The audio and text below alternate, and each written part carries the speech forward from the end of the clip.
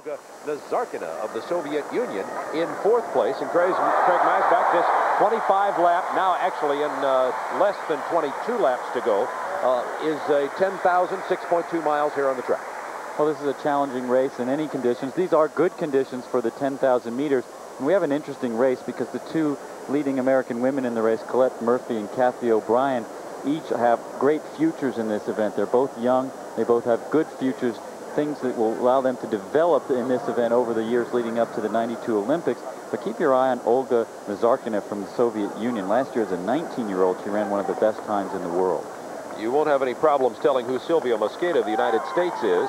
1988 NCAA champion. She has on the stars and stripes in her shorts. And she is in first place at the moment. We have a move coming up on the outside. That's 56 Wanda Panfil of Poland making a move. Let's have a look at the overall grouping of competitors in the 10,000 meter race. Panfil, as you say, now moving towards the front. She's no more as a marathoner from Poland. You see Collette Murphy. Mosqueda is often a front runner. She has a new coach who's trying to keep her from always taking the lead and pushing it. And Cathy O'Brien, I spoke with her coach earlier today. She has pre prepped for this race all year long. You want to know how serious she was about running in the Goodwill Games? She had 103 degree fever at the American National Championships where she had to run in order to qualify for this race. She ran anyway and finished second just so that she could come here. This is the pinnacle of her season frankly, a weakened field when you talk about the very top 10,000 meter runners around the world. What will that mean to what we might expect here in terms of times? Well, you can only run so many of these a year. I can tell you that Cathy O'Brien's coach, Bob Sevene, said she wants to run something around 32 minutes, which is world-class anywhere. She will take the pace and push it if she has to. Oh, the women's 10,000 meters, and we have a change of leaders. Wanda Panfil is in first place now out of Poland. She made a move with a little less than four laps remaining. It's Tosta Gusev of the Soviet Union second, Olga Nazarkina of the Soviet Union third, and Cathy O'Brien of the U.S.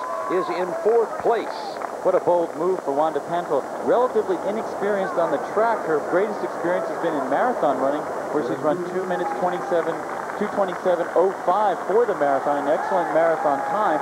But that bold move, as you said, with just under four laps to go, has opened up a wide lead, and it's going to be tough for them to catch her as they're coming up to one lap to go.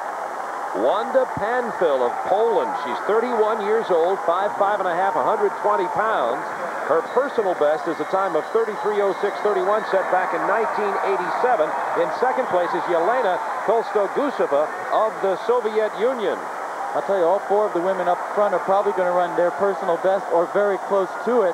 Panfil as much as possibly a minute faster, and she comes from a great tradition of distance running on the men's side, of course, in Poland when we think of Malinowski, the Olympic steeplechase champion, Tony Niemczak, who's a good marathoner, and uh, also Maminski, another steeplechaser. So Poland has had great male distance runners.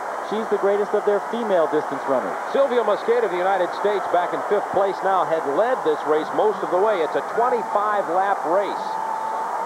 You see Wanda Panfil of Poland looking behind to check the traffic. She's lapping some of the other runners right now. She goes by Carmen Diaz from Mexico. The exciting race is going to be for third place as Cathy O'Brien is battling it out with Olga Nazarkina, two young runners, two runners that people speak of as runners of the future, but it's going to be Wanda Panfil heading towards the 32-minute barrier. And a real sprint going on between O'Brien and Nazarkina. And it is O'Brien leading out of the front. Is she putting on a sprint?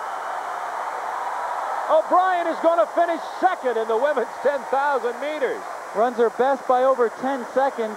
A great win for Wanda Panfil, but a great finish for Cathy O'Brien, the woman who at age 16 finished fifth in the Olympic trials in Olympia, Washington. That was for the 84 Olympics. Now she's 23. She made the Olympic team in 1988 as we see Collette Murphy finishing. She'll be the third American so it's Wanda Panfil, Cathy O'Brien of the U.S., who just had a spectacular come-from-behind finish. Olga Nazarkina of the Soviet Union was third, and Tosta Guseva of the Soviet Union finished fourth. And there is Cathy O'Brien. A very, very big step forward with her ever since she ran that great marathon at age 16. People said, well, maybe she's the next Joan Benoit Samuelson working with Bob Sevene now, who says she needs to learn to run on the track in order to improve her marathon. He calls her the best kept secret in track and field. She's a secret no more. Durham, New Hampshire, five foot two. Like eyes of blue, too. Cathy O'Brien finishing second. Wanda Panfil of Poland, the winner in the women's 10,000 meters. Tremendous victory for Panfil. But look at O'Brien. She saved her sprint until the last 150 meters past Tolstoguzova and then Nazarkina for the second place finish. So that's the story of the women's 10,000 meter race. The winner is Wanda Panfil of Poland. Cathy O'Brien finishes second. Nazarkina of the Soviet Union is third.